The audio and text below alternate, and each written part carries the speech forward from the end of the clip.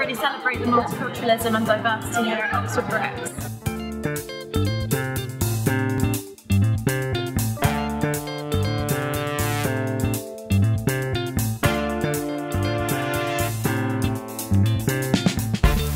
I'm not representing any countries or any societies are all over the world.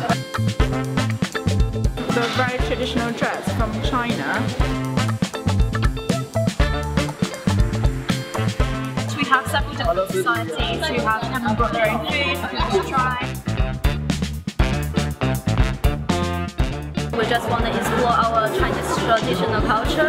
It's mostly for like special occasions like Eid or a wedding. We've organised this event for One World Week.